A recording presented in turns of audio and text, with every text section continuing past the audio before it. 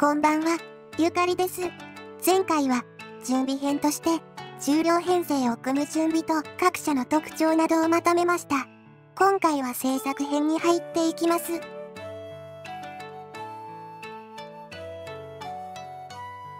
まずは、車両を走行化していきます。走行化の方法は、ゆかり鉄道では、一般的な加藤車輪と釣り具の板重りを使用した方法です。バラストとして、板重りをセットして、金属の車輪に交換します。これで線路上を安定して走ることができます。全焼灯、微灯、室内灯を入れるので、終電確保もしていきます。これも、ゆかり鉄道式の方法でいきます。ローテープを貼り付けて、お互いをエナメル線でつないで、台車側もトミックスの JS06 と JS21 を使用して終電化します。これで、線路から電気を取ることができます。動力車は元から終電できるので、終電した電気を室内灯用に取り出します。室内灯は、ゆかり鉄道オリジナルのものを搭載します。鉄これ用に、銅板を横に取り付けます。事業者向けの鉄道コレクションには、動力車用の台車枠は付属しないので、通常の台車から作成します。ニッパーで台車をカットして、動力台車の終電周のピボット部分が、干渉する部分をドリルで広げて干渉しないようにします。あとは、ゴム系接着剤で固定すれば完成です。今回のメインの作業です。重慶の戦闘車を点灯化します。この鉄これは、天井部分に隙間があるので、この部分にライトを収納していきます。ライト部分はプリズムもなくダミーになっているので、まずはピンバイスで穴を開けます。今回はファイ 0.5mm とファイ 1.0mm の光ファイバーを通すので、ちょっと小さめのサイズで穴を開けました。前に使ったものより小さなショットキーバリアダイオードを見つけたので今回から使ってみました。低電流ダイオードと同じ大きさです。それを使用して、チップ LED を光らせます。点灯テストです。全消灯、微灯切り替えも問題なくできます。全消灯が大きかった重慶未更新車の特徴が出ていると思います。ライトユニットのエンジン部分を天井に収めます。天井と干渉する部分を削って、天井が浮かないように加工して取り付けます。ライトには逆気電力対策をしていないので、逆向き点灯が発生します。動力に砂場回路を設置して、モーターから発生する逆気電力を吸収します。そうすると、逆向き点灯がなくなります。試運転をしていきます。鉄これを終電確保すると、どうしても転がり抵抗が増えて、勾配を登らなくなるので、ゆかり鉄道では、5両に1両の割合で動力を搭載しています。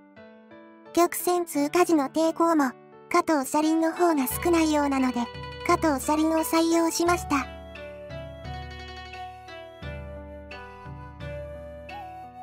側面方向幕がなく、昔の大阪市交通局の帯が懐かしくていいですね。全焼灯、微灯、共に逆向き点灯がなく、綺麗に点灯しています。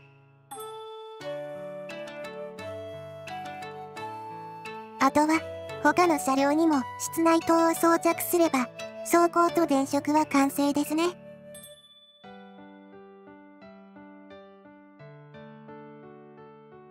床下機器を作っていきましょう。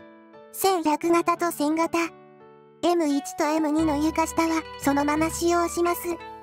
すっきりとした床下の T 車。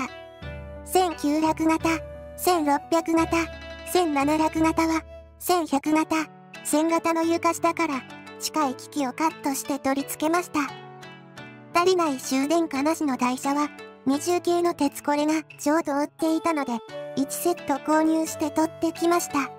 台車形式は違いますがほぼ同じ仕様で、鉄これでは共通であることが分かったので流用しました。1号車1800型は、仕様が近い二重系の床下機器をそのまま持ってきました。重 A 系の鉄これの床下機器も同じようなので、実際は違うかもしれませんが、同じにしました。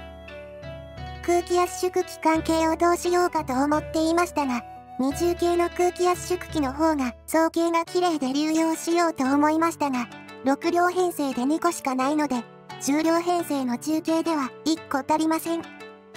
10系の方を眺めていると、なんと、10両編成で5個も空気圧縮機があることが分かりました。実車には存在しない1600型と1700型から空気圧縮機を取り外し流用することにしました。1700型と1600型は T 車で床下が少なくなるので適度に減らしました。改造前の中継より改造後の中 A の方が電動車は6両から5両に減っているのに床下機器が多くなっていますね。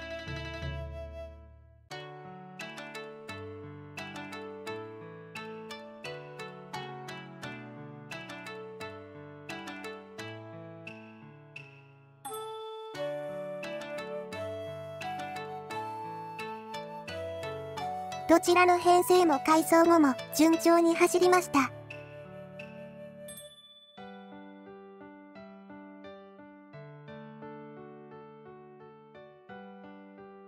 重慶未更新車のライトが気に入ってしまい、後で、こちらの中 AK もライトを大型化して構造を見直しました。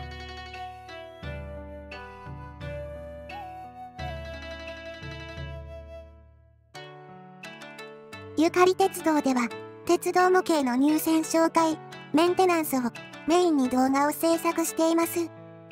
チャンネル登録、高評価をお願いします。ご意見、ご質問などございましたら、遠慮なくコメント欄でお知らせください。動画のご視聴ありがとうございました。